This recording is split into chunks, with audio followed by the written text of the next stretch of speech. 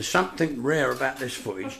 I never ever thought I'd see my eldest girl washing up. Yeah, yeah, yeah, Yeah, yeah, yeah. she says, as though, as though she does it. She, I think she's done it once when she was 16 or 15, if I remember rightly. Her mum must have been seriously ill at the time. Oh, that's right, yeah, she was having her gizzards cut out when she became Mrs. Giblet. That's right. that was quite a long time ago, nearly 30 years ago.